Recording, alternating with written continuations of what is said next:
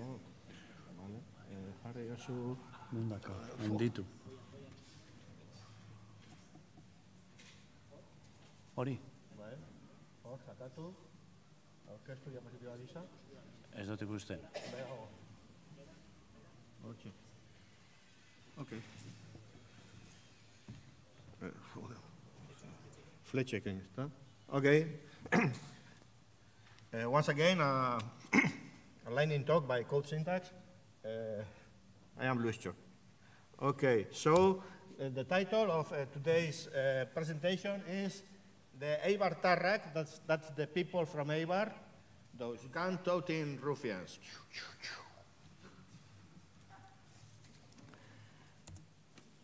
So uh, pr- probably you expected when coming here to find some uh, Spanish uh, seaside uh, resort. Also, there were sea images in the propaganda distributed. Well, it was, it was totally fake. this is the grim reality. Fuck. But uh, uh, is pretty, pretty, pretty uh, up to a point, or to say it better, above a point, because we, we live uh, there in the hole, and some cows live in the, uh, in the, in the mountains, as the main page of Ploneconf uh, shows. There's a, that's Eibar Tarra also, that's another uh, inhabitant of Eibar, but it's a cow. Okay, so uh, we lived in, in this hole. Uh, this marvel of architecture and uh, urbanism, as you can see. It's uh, all packed uh, here. But uh, well, this, this has uh, historical reasons. And this is the main one. This is uh, some years ago in 1937 when the Francoist fascist bombardments erased the whole town, except the church and some other houses, and also the, the, the Renaissance Palace of Markeskua, where the training, the training uh, season, se- sessions are taking, are taking place. So, uh, as it was destroyed, destroyed uh, then we rebuilt this all packed, horrible uh, uh, city in purpose. It's, uh, it's made in purpose. So, going back, uh, but anyway, it's the people that matters. Uh, these are friends of Lurri Bargucci. in the carnival of Eibar, we, uh, that- that- it has a, a funny carnival. In, well, it, it moves. It's uh, uh, February or March, it depends. And look at the soldiers, the green soldiers from Toy Story. Uh, look at the, at the platform for, horizontality, very, very nice. and they are, they are, to, they are uh, toting guns as well. Because that's very, that's, very much from Eibar, as this picture shows. The gun toting Eibar people. So, why? Well, uh, the first, uh, well, well, I, I suppose there are living people living in this hole a lot of time, but uh, a Castilian uh, king in the 14th century gave a chart uh, this year uh, creating officially the, the town of Eibar with the name of uh, Villanueva de San Andrés uh, de Eibar. That, that was the original official Castilian name of, of this town. And that's the reason, that's the reason we have an X here, because someone asked me, actually, what, what, what, is this X that uh, every, everybody, yes, yes, what is this X that everybody, uh, it appears all over the town? Well, it's not an X. It's the, it's the cross of San Andres, it's the cross of Saint Andrew, which also uh, was a martyr that was, uh, uh, was martyred in a very uh, fashionable way, in that, that kind of cross. It also appears in the, in the flag of, uh, in the flag of uh, Scotland, that's St. Andrew's cross, and the, and the green cross in the Basque flag also is the, is the cross of St. Andrew, and also it's the symbol of the town, the, this, this X. It's not an X, it's St. Andrew's cross. Okay, but back, back to the, this little town of the 14th century. Okay, you can see a river there, but probably you notice that there is no river now in Eibar. Well, it's below the houses and the streets. That's, that's where the river is, because uh, it's, a, it's a hole. And then we, you have seen also the, the slopes. Uh, they are not good for anything. You, there's no agriculture or productive agriculture here. Also, no. Uh, so this, it's intrinsically a very poor uh, geographical area. Very, very, dif very difficult to, to, thrive here. But somehow the town thrived. And there's, there's a there's a theory, well, economic theory, or what, something that we, uh, the Eibar people, uh, like to say is that uh, here there's no way to earn one's living if not being very creative. And the thing is that from the, not that century, but the next century, from the 15th century, a very specific industry uh, uh, uh, thrift here was created here in, an, in another very nearby town uh, Placencia. Uh, no, no, I have there is I have a colleague from Placencia, but it's not, it's not here. Okay. And that, that's the gunnery, the arms industry. Uh, from the 15th century on, uh, Eibar has been, until the 20th century, mainly dedicated to making guns, making guns for the Spanish armies. Um, not for personal use. And there's a museum. There's a, very nice museum if you like guns. Okay, so that was my dad's first job, actually, making pistols at the BH company, Beistegui Hermanos, the Beistegui Brothers company. Uh, the building is still there, five minutes walk from here, and that was his first job making guns. Uh, the industry still, still uh, exists today, but it's a niche industry. They make really, mainly make uh, gunshots, but uh, uh, luxury, luxury gunshots for Arabian sheikhs, some very expensive ones. So it's a, it's a export, export, export industry mainly. And that's compact, but it's, it's, a, it's a Laurona gunshot. The, the, the Basque, the Basque the Basque uh, brand was, was Lauron until recently. Okay? And so it is an industry that still creates uh, for the very, very rich. And there's also an, an associated uh, uh art uh, with it. It's engraving uh, over black iron, engraving with gold. And it's, it's, a, it's called the Damascene engraving. Damascene from Damascus, the city of Syria. Uh, but uh, well, it's, uh, in here it's called the Damascene engraving, and this actually, this pistol actually was not sold. It's in the, it's in the museum, and it's a work by my uncle Miguel Fernandez. So if you can make guns, uh, you can make other things. Because a, a, gun is a tube of metal. That's, that's, a, that's a gun, basically. So in the beginning of the 20th century, they began uh, making, giving other uses to tubes of metal to make bikes. That was the, the first uh, industry uh, uh evolution uh, in the beginning of the 20th century, because they are tubes of, of, uh, of metal. And also the other component of a gun are extra metal pieces, the trigger, and the, the I don't know, safety click or whatever, and these little uh, pieces of, of metal that are bent.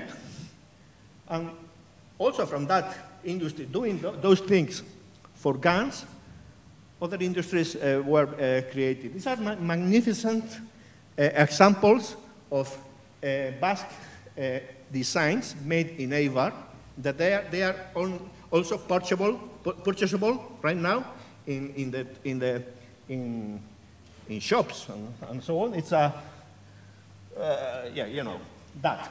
Uh, a, des a, a, design by uh, David Olañeta, 1932. And the staple, uh, the staple uh, El Casco brand, uh, that, that design was patented in 1934 by José Olazábal and, no, José Solozabal and José, José Olave. Uh, they, they have been made. Uh, uh, this is the, the corkscrew. The corkscrew are still made five minutes from here. And when I say five minutes, I mean five minutes, literally, not 10. and, and, the, and the El Casco staplers, uh, the most elegant in the world and also the most expensive nowadays, you can buy them also, they, were, they were made right, right over the corner, in a factory right over the corner of the, the theater, right there. But now, now the company is still uh, uh, thriving, but they have the company in a nearby town. And uh, they are the best staplers in the world. Alum aluminium, not soldered pieces. All, oral. Okay. So after doing guns, we still could do things with creativity and design. And over the 20th century, there, there, was a whole kilometer zero economy in Eibar. Uh, lots of things were done locally.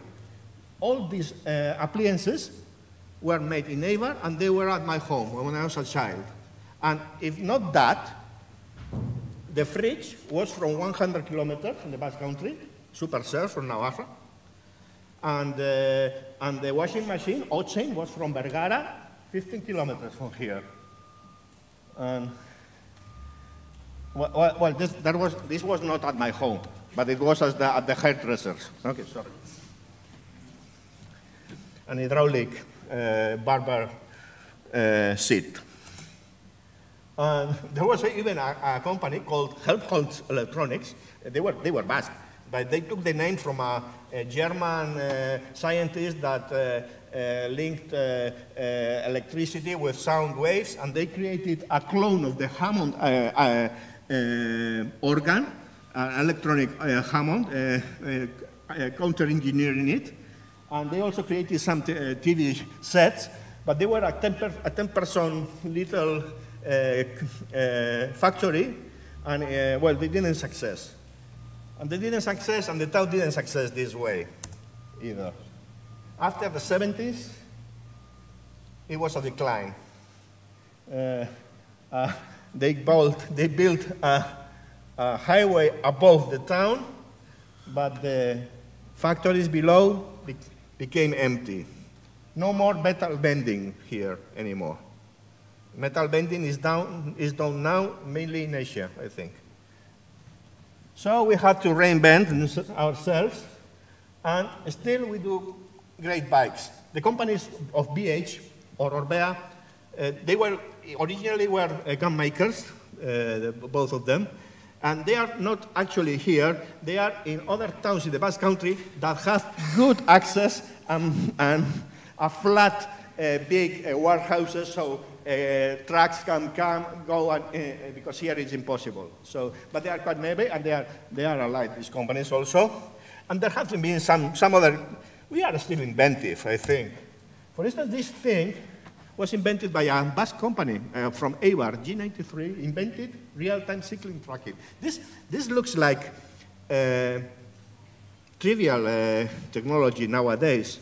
You see, each, each uh, each, motor, each motorbike in a peloton has a, a phone, and you can triangulate the times with the, the GPS, and you get and you get the difference in time from uh, well, the, uh, uh, this, this cyclist was here at that moment, and then uh, from that point another cyclist comes. But it, this was done in the 90s with GPS attached to radio transmitters, and the radio transmitter signals were decoded uh, in a local computer, and uh, it was done first in some Basque races, and the Tour de France didn't believe it could work, but they came here and saw, and they were the first a big customer for this company, and now it's a uh, you see it everywhere, and not only in this sport, in other, in other sports. And before internet, eh, it was invented this. Mm -hmm. And also, of course, uh, uh, Plone. Code syntax, does Plone. We didn't invent it, almost, but uh, it's fully internationalized thanks, thanks to Mikel Larreategi, uh, our, uh, well, no, the Plone International Team Lead. That's, that's your official title. Th thank you for doing uh, Plone uh, multilingual and Basque, by the way. So we resist. We, Eibar reinvents itself somehow. uh, it's the people that matters. Uh, gun-toting ruffians. We, that not, not, not much hardware guns anymore, anymore, and we don't need guns. I am from the banning of the guns, of course, and I prefer to be cool, creative software tool makers. That, that's what we want to be, yeah? more, than, more than gun makers. So, thank you. Eskerrik asko. One precision, one precision. Well, they, they are not ruffians. They are, they are uh, people from Eibar in a shooting, aiming uh, contest in the Probaderua of Eibar. The Probaderua, the, it, it's a particular uh, institution of this town. It's the testing site because uh, all guns need quality control, obviously, before they, they get to the market. Someone has to test it, not, not to lose a hand on the, or at, at least you, you lose your hand and not the clients, because that's, that's more problematic. so uh, every, every factory, they didn't test their guns individually, but there was a common organization, the testing site, and all guns were passed through there. It was in the center of the town 100 years ago when this picture was taken, but now it's in, a, it's in the outskirts, in a, 200 meters from, from Code Syntax, and, and still the, the guns of, of Eibar, the niche, the niche product of today, it, they are proved there in the, in the, in the testing site. So that's uh, the precision, and also uh, a, a, a kind of reminder. Uh, uh then uh, at the party, if you go, uh, in case of panic,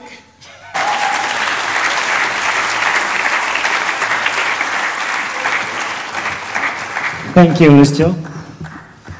Philip Bauer, the next one. Thank you.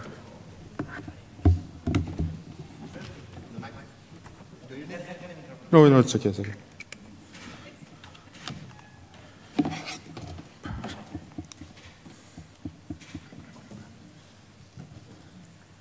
Working.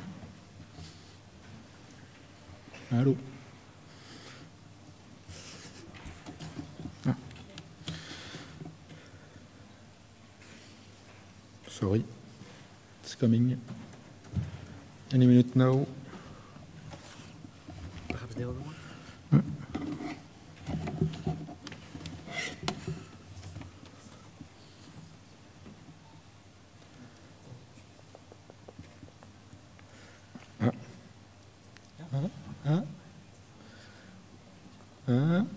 Allô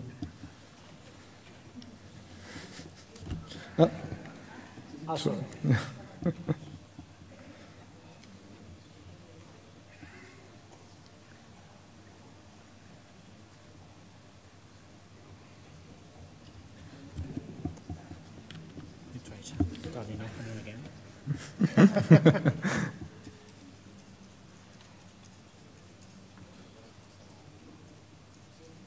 Nicolas, tu avais raison. Hein.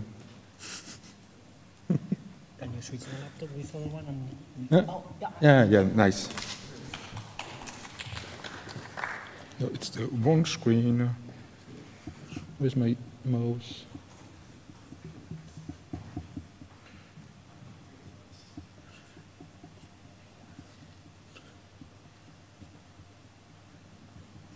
So, uh, I uh, will pro uh, present you my uh, extension for Chrome.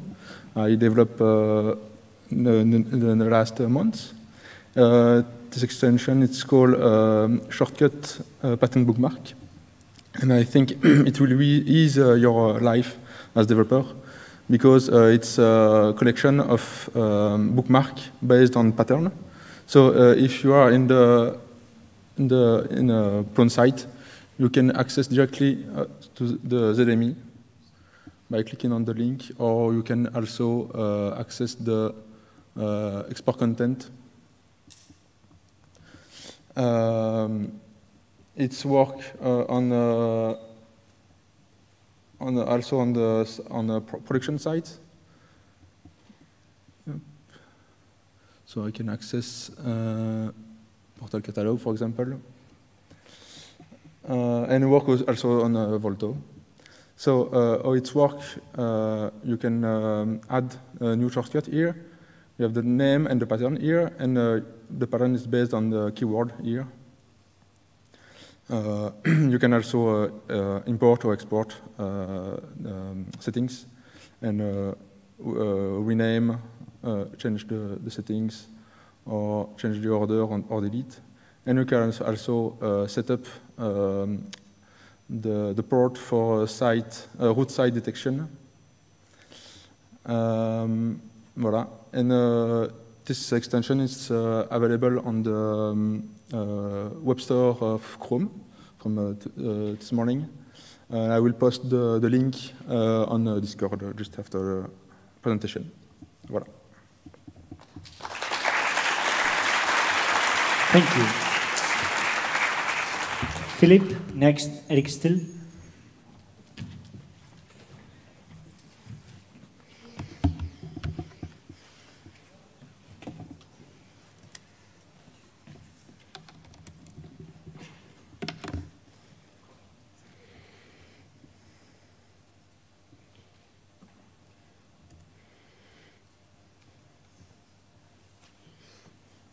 Wrong. Uh, you do that?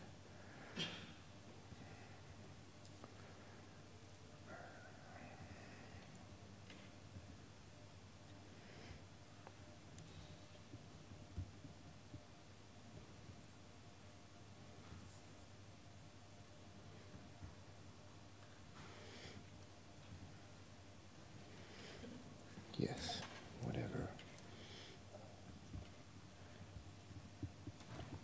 Okay, the Germans are at it again. Uh, we're having a Plone event in Germany next week, uh, next year, sorry, uh, at the Justus Liebig University in Gießen. If you don't know where Gießen is, it is uh, located there next to Frankfurt. Can you see Frankfurt? No. It's uh, below the red dot, it's about a half, half an hour from Frankfurt, so easily accessible. Uh, the Plone-Tagung will be on the first, uh, 4th of March until the 6th of March, and directly afterwards uh, there's going to be a sprint for, uh, for two days.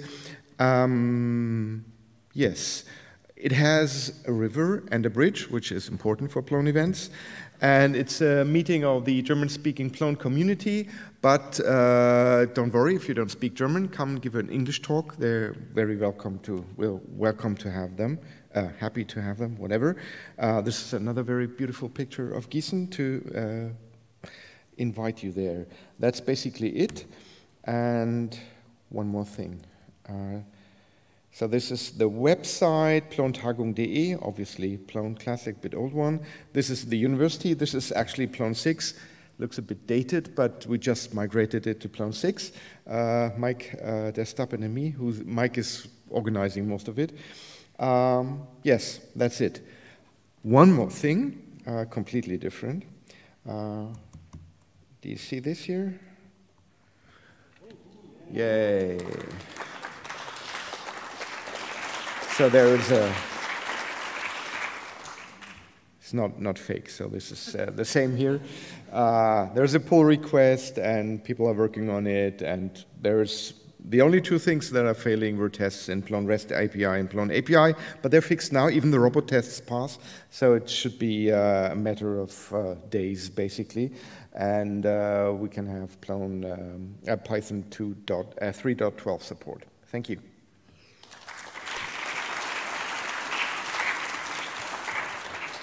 Thank you, Philip. David Glick, next one.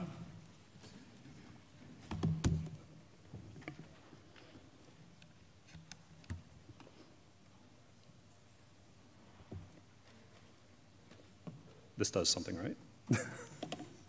oh, there it is. Okay. It's magic.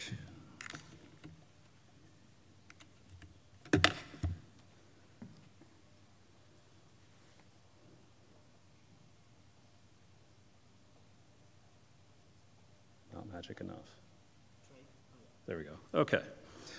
All right. Uh, so yeah, I want to call out somebody, um, kind of an unsung hero. Um, somebody I talked to this week. Uh, so Uh, this person has stepped up to fill a vital role for Plone, uh, largely doing it entirely on their own. Uh, they're involved in several other major initiatives in the community. Um, they have lots of other passion projects on their to-do list, but really no time, um, all while maintaining a day job and finding time with their loved ones. Uh, could you stand up? There should be at least eight of you in the audience. No? Okay. Uh, we have a lot of these people. Uh, these are single points of failure. Uh, thank you, David. Um, I needed a picture. Uh, is this a crisis? It, it, kind of is. It's a safety thing. Uh, it's a community problem. We have a lot of these people who are the one person running a project, the one person in charge of a thing that don't have backup uh, and uh, heavily involved in running our teams, uh, but they're also deeply involved in other aspects. And we're leaning very heavily on them, and that risks burnout uh, and puts the entire entirety of Plone at risk. Um, if Moritz gives in to the, that bubbling cauldron of rage that we all know lives inside of him, destroys his computer, and flees to the mountains, yes, exactly. Uh, I mean, we will survive, but it's going to take a lot of time to rebuild that knowledge and find the people to take over for him. It's going to take at least five people, um, at least. Um, so, I mean, this isn't just a Plone problem, this is, an, is and it's not just an open source problem, it's, uh, it, it happens everywhere, uh, but it is one you should be worried about. Um, but it is also one that we can fix. Um, this, this can have a business impact for you, though. Uh, if infrastructure problems slow down development or releases take longer or documentation lags behind uh, what we're producing, that slows down what you can do. Um, it's a problem. But again, it's a problem you can help solve. So obviously, cloning would be great, but if we had two Freds, they would debate each other to death, um, and we don't want that. Uh, and, and the other thing is we, we get no diversity of opinion. Uh, we used to have something called the 10% Manifesto, which was um, the company Jarn uh, was urging everybody to pledge 10% of all their, all their time to giving back to the community. Uh, and so that wound up being two days a month where they were basically pouring all of their effort into building community efforts. Um, I am asking for one day a month uh, for our Plone tune-up. Um, so what you get out of that, um, there's some education involved. You get to learn shit. Uh, you get a glowing sense of accomplishment. Uh, you get a voice in the community. I think that's super important. Uh, you get to have a say in what we do, how we do it, uh, where it happens, and where we're going. Uh, you get a robust, better, and continuing Plone. Um, and uh, the nerds get to build all that cool stuff that they don't get a chance to do right now. The things we need, I mean, obviously, coders are great, but we have a lot of them. Um, what we need from your companies are really the things like project management, uh, content creation and editing translation, uh, outreach and publicity, uh, infrastructure, DevOps. Uh, people who are bad at Plone are extremely valuable to us. If, if you don't have, if, if everybody at your company doesn't fit into one of all these categories, we'll find a place for them. uh, so yeah, we're having tune-ups. Uh, it's essentially a day of working on Plone, uh, whether that's core, uh, that's add-ons, or all the bits that go around it. Um, so that's the third Friday of every month. Um, and we'll be making, uh, so this, this will take you to a form where you can kind of say, this is what I can do or can't do. Um, uh, you, or you can just send me an email and we'll find a place for you. Please do one or the other or both. One minute. Okay. Uh, and we will be sending out announcements in the near future uh, talking about what our teams actually need. So, all right, thank you.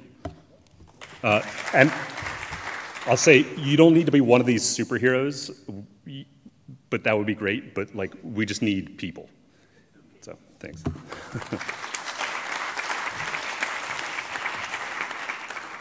David, next one's Elizabeth and Martin.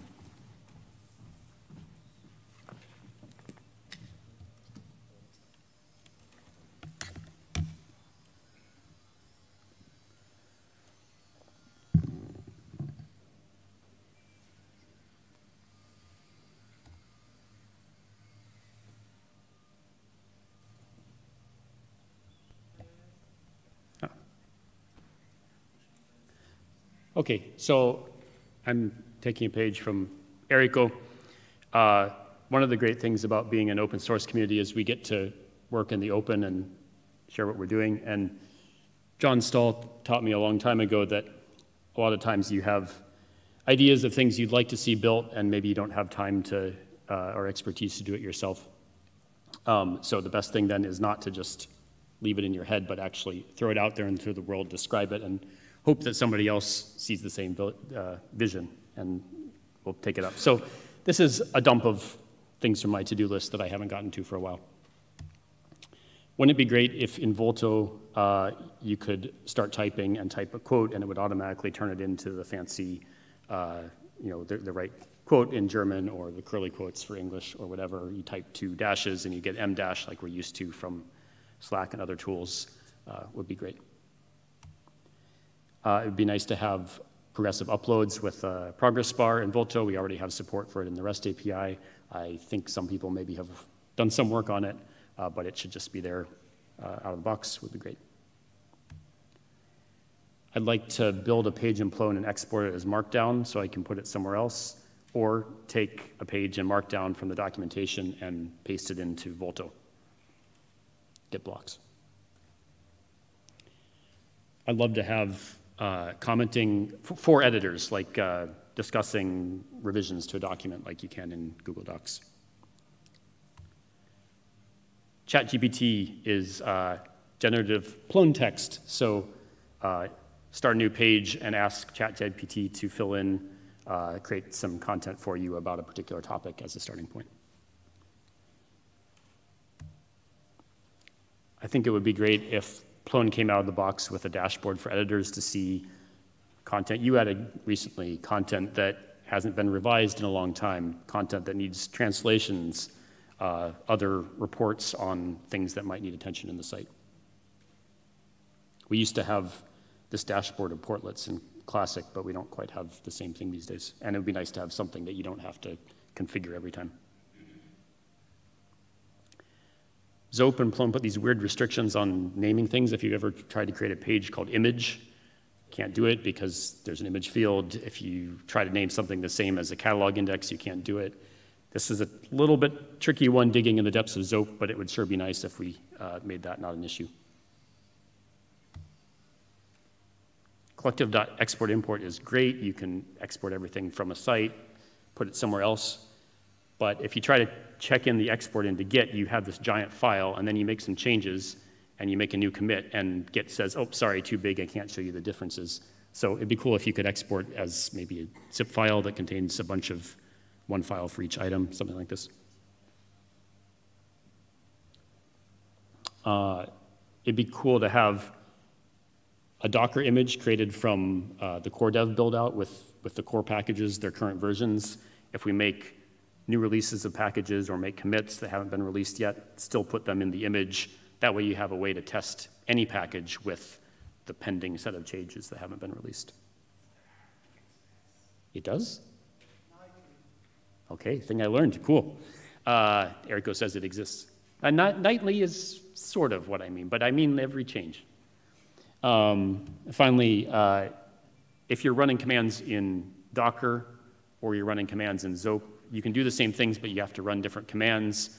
Uh, in Docker, you can specify nice environment, environment, variables to get things. You can't do that outside of Docker. It'd be cool if we just had one uh, command line application that was exactly the same and I'm done. So.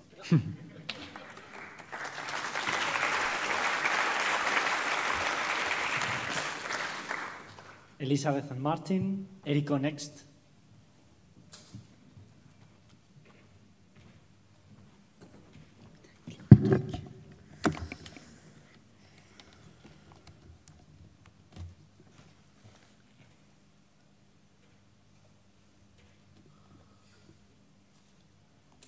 Marche pas. Est-ce que tu bouges sur l'autre fenêtre Quelle fenêtre? L'autre écran en fait. J'ai pas d'autre écran. Mais justement, il m'en entend un. Quoi? Je avec moi. Quel autre écran? J'ai pas d'autre écran. Il doit être quelque part au-dessus ou en dessous?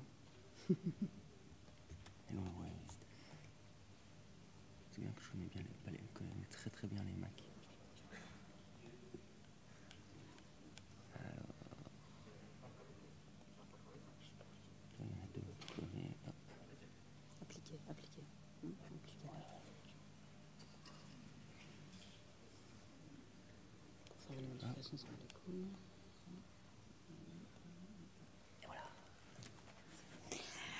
iMio is finalist of OSOR Awards 2023. What is uh? It's the open source observ observatory of the, the European Commission uh, who promotes uh, the use of uh, free and open source software in Europe, especially in public sector. And it awards um, honor the best uh, software, open source software solutions uh, for public administration. Um, so uh, Joel, or ICT, or IT, or CTO of iMio, uh, submitted uh, the candidacy of uh, our public IT company because uh, we serve uh, more than 400 local authorities in Wallonia uh, that involve uh, police and fire service, stone, and so on. And our products are mainly based on Plone, uh, Django, and Odoo. Uh, this year, um, uh, there were uh, 101 candidates from 23 countries, and iMio is among the 22 finalists. So now we need you to win the awards. Uh, this award uh, will allow us to promote uh, the Plone community governance model. So please vote for us.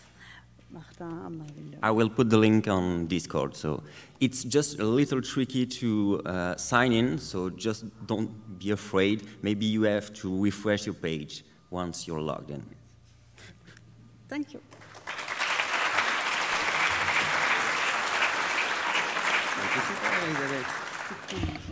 Erico, next Kim, next. No, no, it's working. I asked for a translator. Brazilian translator? Yes.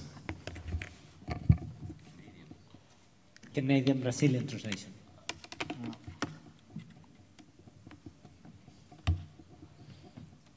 Is that writing? No.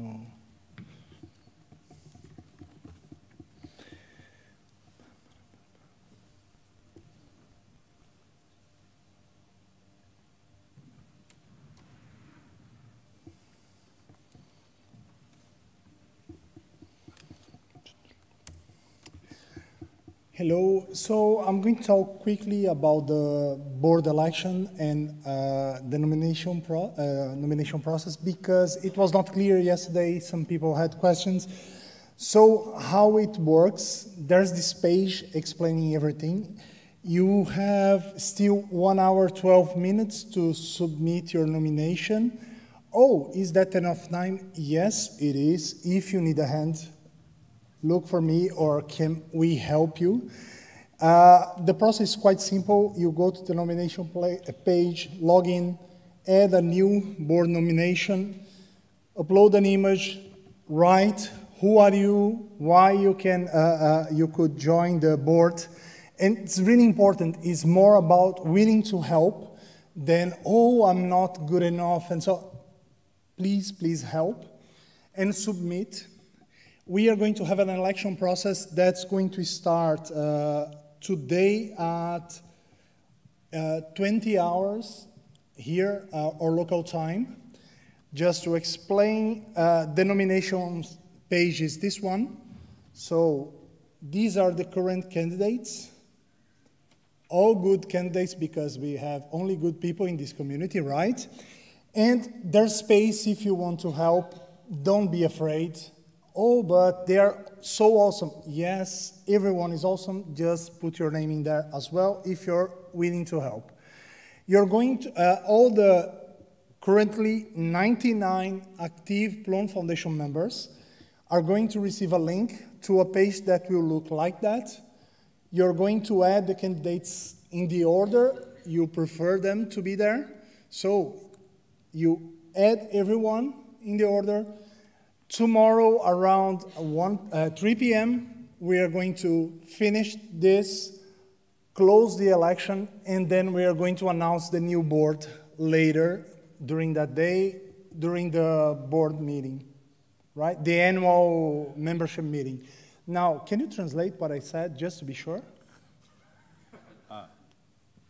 Uh, one thing I did want to say, seriously, is that uh, as you can see, there are more candidates than we have seats on the board for, but that's all right, because what we want is for you to think about your being able to help at that level.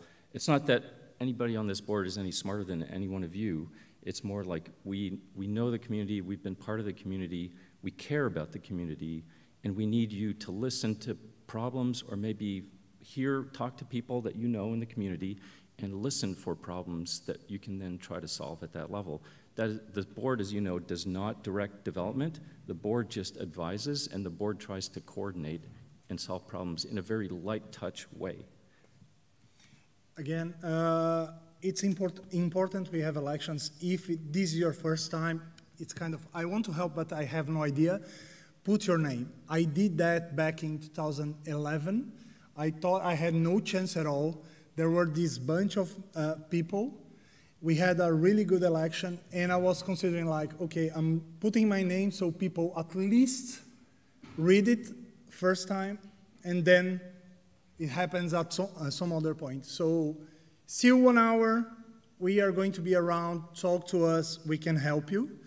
And now, before he buzzes me, we have Kim Nguyen talking about sponsorship. You want to leave that up? Oh, you just, Oh, you want? Plug it. No, I'll plug it in. Oh, no, It's come on. No, no, No, Get out, get out of the it's way. you. Get out. Me- No, come on. Get, get off, get off the board. Sorry. All right. Um, and um, next, friend. The uh, the other thing I wanted to mention about the election is that, um, again, going back to how many seats there are on the board, if you don't happen to get voted in this particular time, please don't get discouraged. Um, we're we're trying to make sure that it's not a popularity contest because I mean, look, it's not a popularity. Um, so so please, uh, if you don't get voted in this time, just keep talking to people, still be interested, and then next year put your name in again. Um, I guess I don't have a working. Oh, maybe I'll switch to the other. MacBooks are great.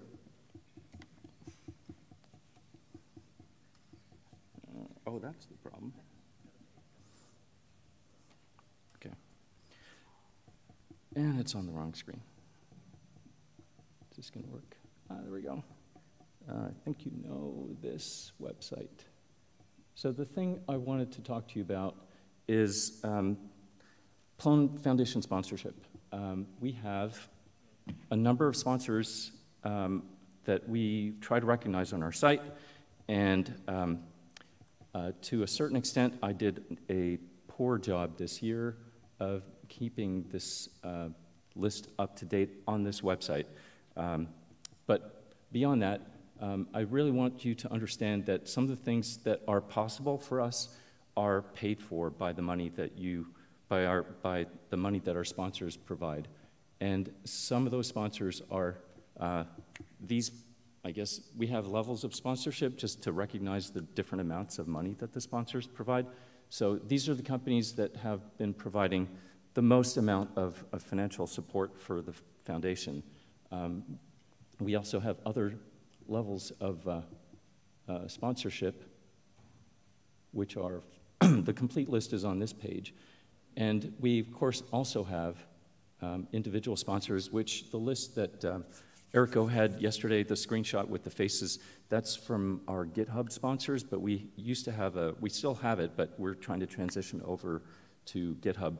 But we have other uh, sponsors who have been on PayPal for in some cases, years. Um, so even if your company doesn't um, have the ability to provide financial sponsorship to the Plone Foundation, please consider uh, giving us a few dollars a month, and that helps uh, run some very expensive servers that Fred and Erico put together for us.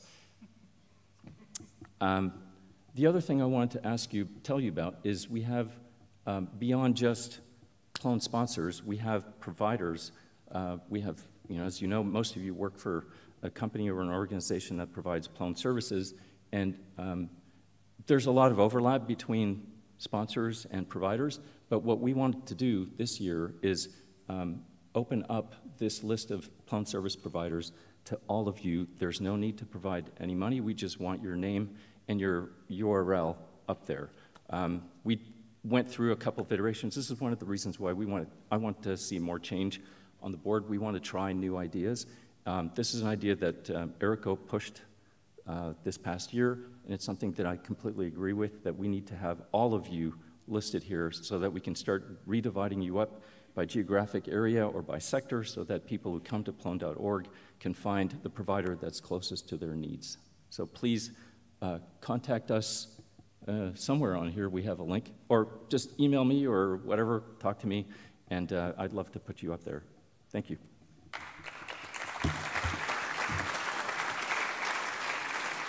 Fred?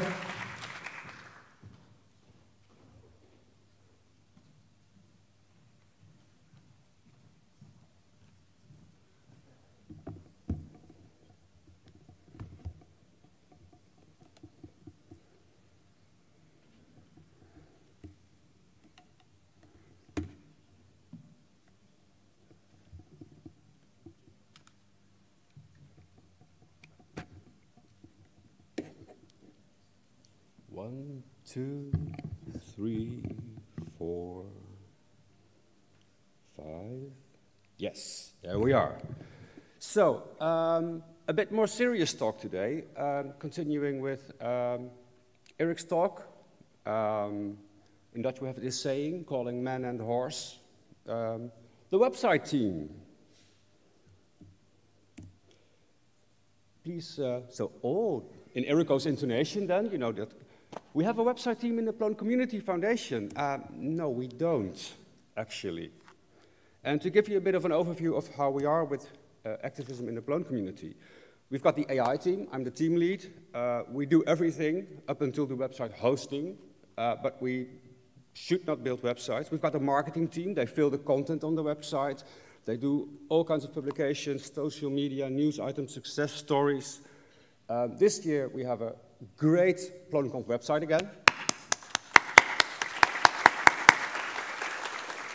which was built by CodeSyntax people. So they theme it, they build it, they build it. Uh, it's a yearly instance, and kind of Eric Comey, uh, uh, Kim and Paul provided the infrastructure for that. And of course, we've got the whole release team, Volto team, release managers, and many, many permitters here who develop core Plone who actually maintains and extends the Plone.org website setup. So this is a bit awkward. Nobody does. So th there should be at least 50 or more capable Plone developers in this hall right now who can maintain and extend Plone websites, I hope, and do that for a living.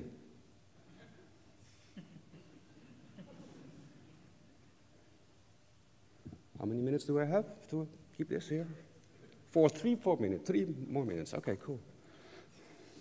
So, I mean, members from the other teams, as you see, are standing in here, but we're few and we're already doing all the other things as you saw and as, and as Eric already did. So, Plone.org is not a project. I mean, you have to say this to customers all the time when they come for a website project. There's not a beginning and there's not an end date. There's not like, oh, project done and we'll see you in three years or fire and forget. This is an ongoing business. And we, we, the teams that provided this had great help in 2022 from Plonistas and integrators and companies setting up the new website, and we got it there, greatly appreciated. But after that, activism and interest, interest has been like, like 1 or 2%. Just go, go to the Plone.org repository and check the commits there. You'll see Erico, you'll see me, you'll see a few other people. And, and this is actually our public relations uh, for Plone.org at the moment. If we continue like this. So you need we. I mean, we've had some active community members there. Thank you, Erico, Brian Davis, David Glick, Victor Maurits, Rike Pekka, and others I'm forgetting that, that did help some bit from the other teams. But we really need a small pool of available developers with a little bit of time every month to help regularly with supporting uh, and extending our, our main own uh, uh, uh business card that we show. So what do we ask? Maybe two, four, 12 hours a month of your time, uh, attend a team meeting once a month, um, an occasional mini sprint, and once you know the setup, help others. For example, what Eric said, what we're starting the tune-up days, to help onboard others also to participate here. And I'd love to also start supporting starting Plone developers on this team. Uh, I really like to give training, but we really need some experience on the website team first if we start this, because it's basically a resource issue. And also for Plone integrators companies, like Eric said, uh, remember again this 10% community effort time. I mean, it's cool that all of you want to work on developing Plone itself, but we also need a few hands to maintain plone.org and in some other teams do, do a bit of the grunt work there. So, the good news, this was the bad news. The good news, full CI/CD is there. We have code commit CI/CD deploy tests. Yes, we've got some more docs and things there, but basically everything is there to just start code commit and do some stuff. And if everybody says, oh, but, but you didn't ask for help, uh, no, we were too busy to ask for help. I know, it's a chicken and egg problem. Thank you.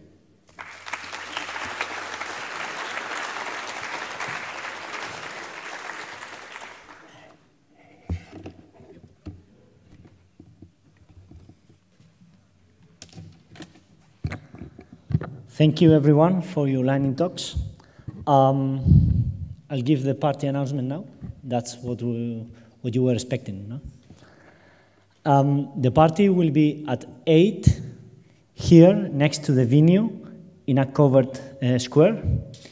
Um, we invite you to um, live the atmosphere in Eibar, to enjoy the atmosphere in Eibar today.